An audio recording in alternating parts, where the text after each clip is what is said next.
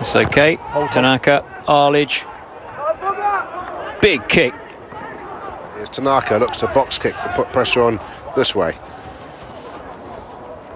Gone forwards, short of the uh, Tongan 22, half an hour left. So think they've got to try, somehow they've got to try and get something. Done well to rescue that situation on their own 10 metre line, trailing by three points to nil.